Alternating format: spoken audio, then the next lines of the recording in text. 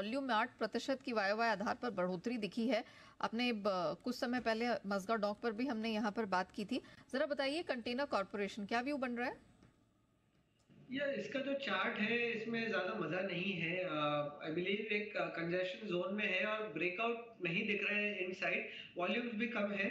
सो इसे अवॉइड करने की राय रहेगी। एक बार इसमें ब्रेकआउट आ जाता है 700 के ऊपर, उसके बाद ही इसके इसे देखें।